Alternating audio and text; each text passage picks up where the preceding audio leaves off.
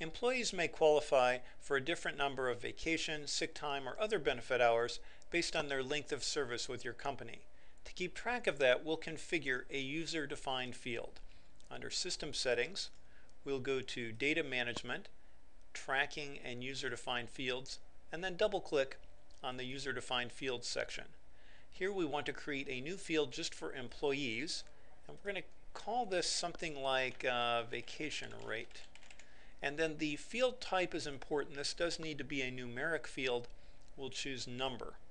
And then we're going to save it. And the last thing to remember is with the name of the field selected, be sure to expose it so it's available to each of your locations. So we'll click expose and now we can use that field. Now we'll go into employee data and payroll. Tammy is an employee who has been here for a while and she qualifies right now for one week of vacation a year. I'm going to go to her user defined field screen and plug in a value. So I'm not going to put in one week. What I need to put in is the rate. And I'm going to type in for her 0.80 because she'll accrue uh, 0.80 hours for every 40 hours she works. And if she works full time, that'll work out to be one week per year.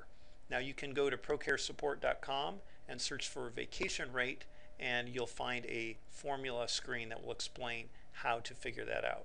We'll click Save and Exit. And now I'm going to go to Amy Collins. Now Amy has been with me for quite a while and uh, she earns two weeks a year at this point.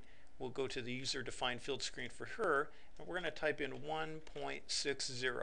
So that will work out to be 1.60 hours for every 40 hours she works.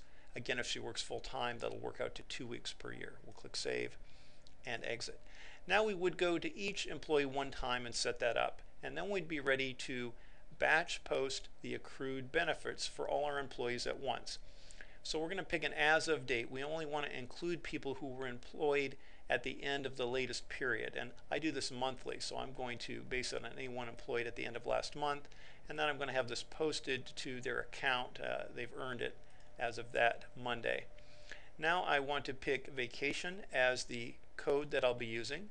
And if I want to in the comment, I could say something like vacation uh, earned for July, for example. And then any of these calculation methods would work. In this example, I'm going to base on, on 40 hours worked. And I want to do it for the previous month, so any time you've worked, uh, whatever hours you've worked for the previous month, it will be based on that. And then we'll, instead of picking standard amount here and plugging in a fixed rate that would apply to everybody, we want to choose the field we created called vacation rate. Now this will automatically use whatever number we put in for each employee as their rate per 40 hours worked.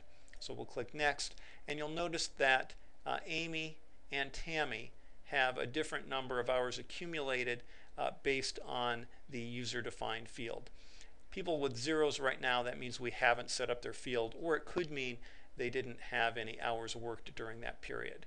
So in this case, I'll just check off the two I want to process and click process. And that's all there is to it.